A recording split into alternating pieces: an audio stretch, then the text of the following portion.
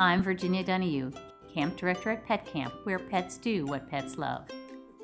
Pet Camp is where pets do what pets love because we have lots of different activities and lots of options. Each cat is really different, so we have a lot of activities, a lot of different choices for cats. We have extra wide windowsills for those cats who like to lie in the sun and check out what's going on outside. We have um, special club lights in the ceiling that, um, that spin lights and colors around for cats who like to change, chase lights and colors. We have fish tanks, giant aquariums full of fish so that for the cats who like to chase the fish.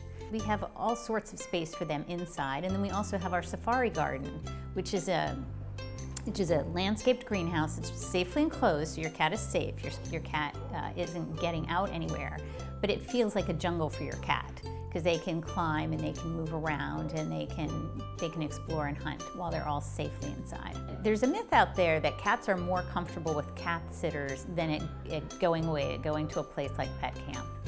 And what we find is that when people leave their homes and they leave their cats for, for many days in a row with a cat sitter, the cats really get lonely and they get bored. When they're at home, they're used to you being home and they're used to a lot of activity.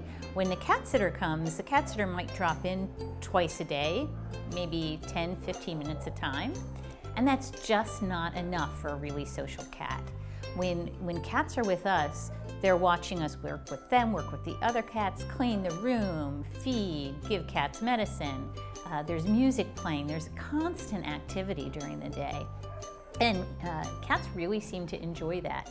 They find uh, a lot of comfort in being surrounded by people and, and by the activity.